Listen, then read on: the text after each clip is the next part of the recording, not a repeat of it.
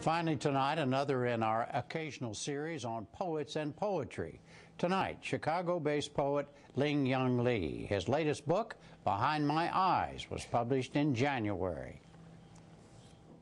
Descended from dreamers. Why are you crying? My father asked in my dream, in which we faced each other, knees touching, seated in a moving train. I'm Li-Young Lee. Uh, I was born in Indonesia. I'm ethnic Chinese.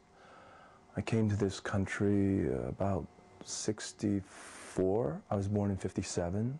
My mother was the oldest granddaughter of the fifth wife of the first president of the Republic of China. When I was born, my, uh, my father was working in Indonesia, teaching, and about a month after I was born, he was incarcerated, and he spent about 19 months in a, in a leper colony. After he got out, we were traveling under house arrest between Jakarta and Malaysia. We uh, jumped ship and ended up in Hong Kong, and eventually we ended up in the United States as uh, political refugees. This is called self-help for fellow refugees. If your name suggests a country where bells might have been used for entertainment or to announce the entrances and exits of the seasons or the birthdays of gods and demons, it's probably best to dress in plain clothes when you arrive in the United States and try not to talk too loud. If you happen to have watched armed men beat and drag your father out the front door of your house and into the back of an idling truck before your mother jerked you from the threshold and buried your face in her skirt folds, try not to judge your mother too harshly. Don't ask her what she thought she was doing turning a child's eyes away from history.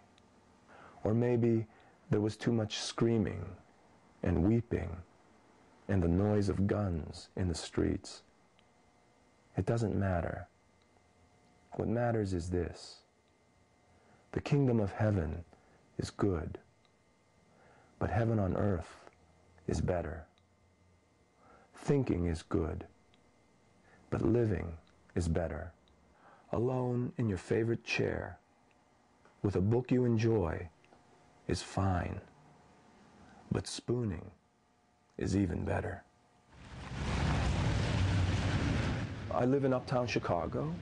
My wife isn't literary at all. She's kind of suspicious of people who are overread. She has a real good ear for something that's kind of tinny. And she comes from a long line of uh, coal miners and uh, uh, her father was a coal miner, her uh, grandfather was a coal miner. They want proof of things. This is called living with her. She opens her eyes, and I see. She counts the birds, and I hear the names of the months and days. A girl, one of her names is change. And my childhood lasted all of an evening. Called light, she breathes, my living share of every moment emerging.